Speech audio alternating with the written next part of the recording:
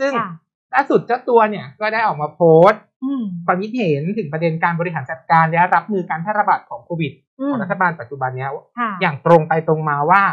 การทำงานที่ล่าช้า และการตัดสินใจที่ผิดพลาดของรัฐบาลอืมทำให้ชีวิตต้องเสียไปอืมอะต้องมีการสูญเสียอีกเท่าไหร่ ถึงจะยอมรับความผิดพลาดของตัวเองสักทีลาออกเถอะค่ะ จะได้ไม่เป็นภาระของประชาชนอืมอันนี้ก็เป็นโพสต์ที่เจ้าตัวเขาโพสต์ไว้ ก็มีการ เหมือนเดิมเหมือนเดิม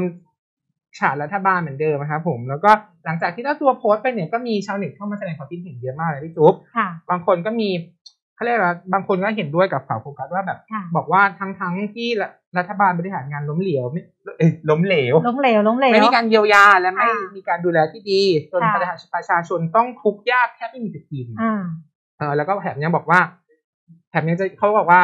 คนคอมเมนต์นะเขาบอกว่าแถมอืมยังโยนความผิดให้ประชาชนอีอืกม พร้อมถามกลับว่าต้องมีคนล้มตายอีกกี่คนรัฐบาลค่ะถึงจะให้ความสนใจอืม